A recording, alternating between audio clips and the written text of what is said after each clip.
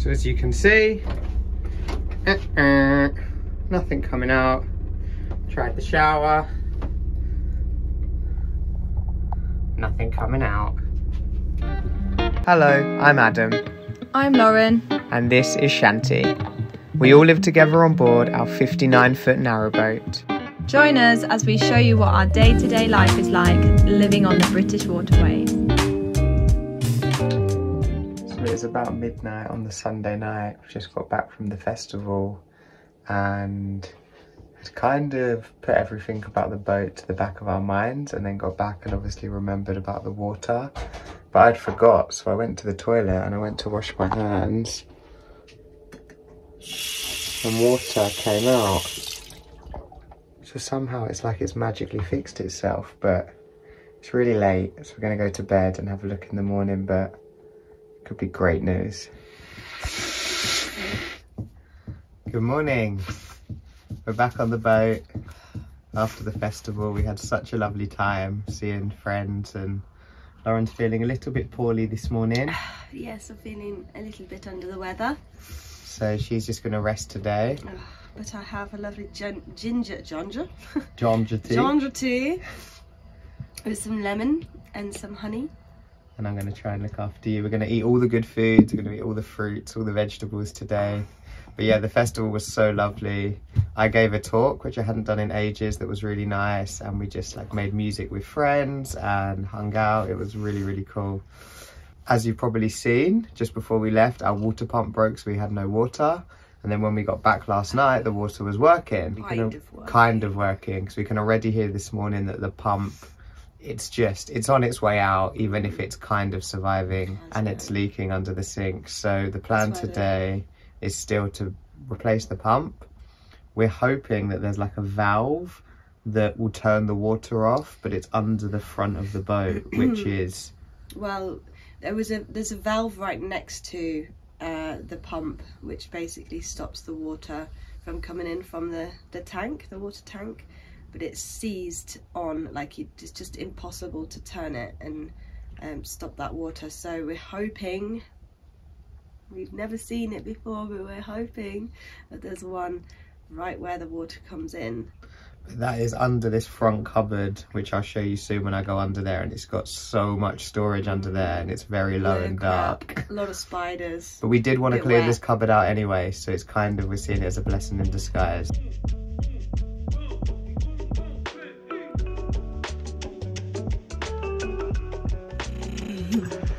So it's time to go under the big cupboard under the bow and try and find the magical valve to turn all the water off. We don't actually know if there is a valve under there and it's going to be a process to get there. Shanti's job is to smell it out, isn't it? Yeah, Shanti, you're going to smell out the valve. Shanti, where's the valve? Where's the valve? Where's the valve? Where's the valve? Where's the valve? You see it? Where is it? Let's see how this goes. I'm going to be moving this box and behind you see this mystical cupboard. I've cleared the way to the magical cupboard. Actually needs some TLC done to it. But as you can see from the beginning, it's just full of things right to the front, right to the back. I've got a head torch on. There's boxes and boxes of can't even remember what now. But we believe the valve is going to be somewhere right at the back. Let's do it.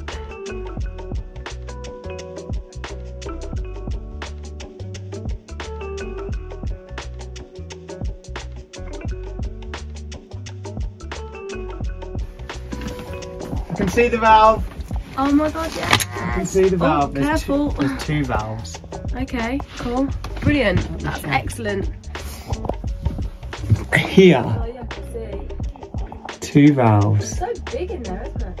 And then these water pipes are what go through to the kitchen and the bathroom. So we're needing to turn these off to replace the pump to make sure that water doesn't go everywhere when we take the first pump out.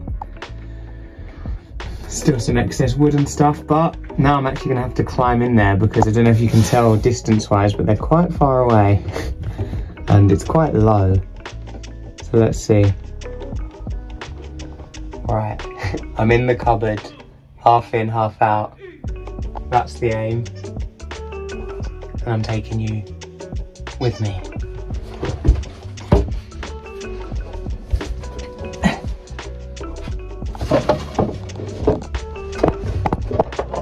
Arrived at the two valves. It looks to me like one isn't connected to anything, but I'm gonna double check. And this is the one I'm turning off. So now we'll check that no water's coming through and it'll be time to replace the pump.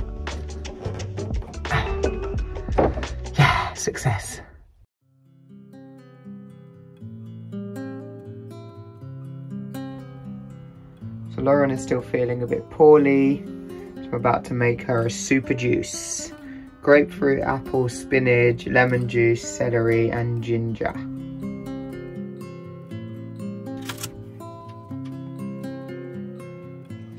When we moved on to the boat, we had to kind of choose what electricals we wanted. Well, we could have had more, but we wanted to be uh, conscious of how much power we're using. So we had a toaster at the beginning, but then we decided to get rid of it because we realized we could kind of make toast in the oven. Um, but a juicer was something that we both really wanted.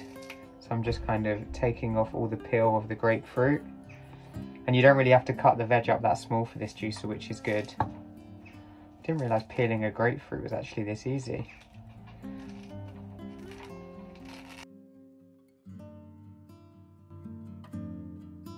Now for my favourite part.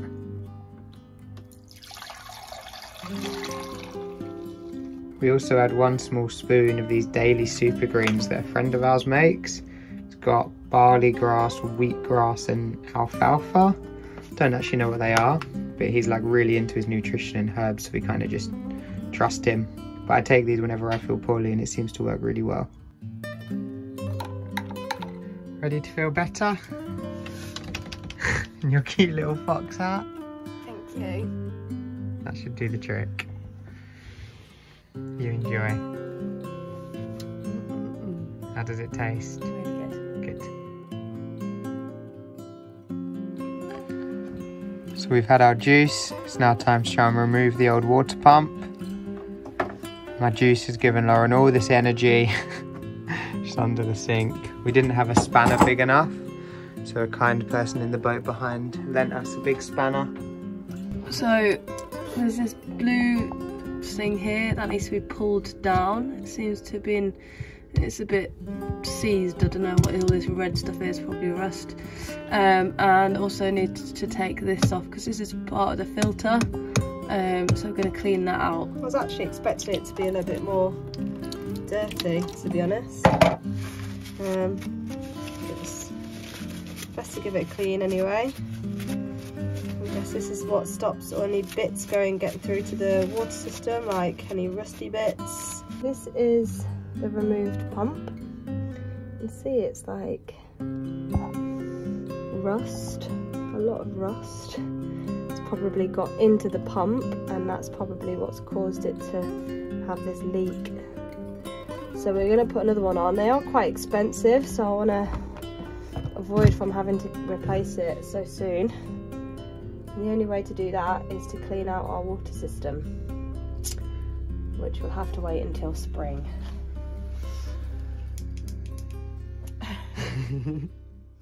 Now we can't share with you how much the new water pump costs because luckily there was this spare one under the sink, this new one. I did look it up though. I think that costs about I want to say I want to say 200 pounds. I think it's 150 200 pounds. I'll have a little Google to check, see if that's correct. And we're not sure why there was a spare one. Maybe they had problems with it in the past, but we've been on here two years, so yeah, very grateful that there was this spare one. So it looks like this is the same one. I think basically all you do is put the wire, the new wire, in into that. Obviously cut it off and make it look neater. And then get some pliers and squeeze it shut to hold on to it.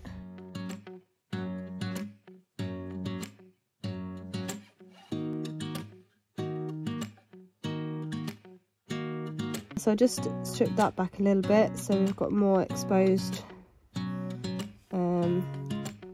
Really sure what that is, but metal, some kind of metal.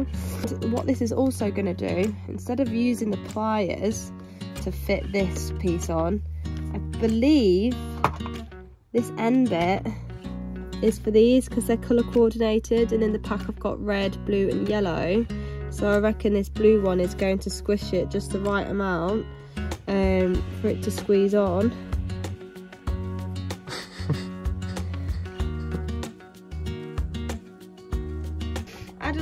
Back under to turn the valve on and um, so we're going to just check now to see if there is any leaks, if it's um, all secure and then we'll turn the pump on and test it. Back under in my favourite new cupboard and Lauren's giving me the go ahead to turn it back on and then we just wait to hear if she screams and says turn it off. I, I can hear water coming through and so far it looks like there are no leaks. What?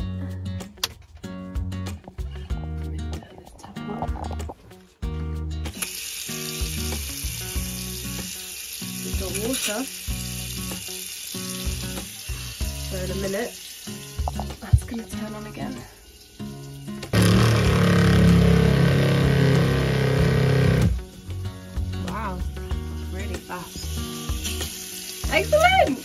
Better than before.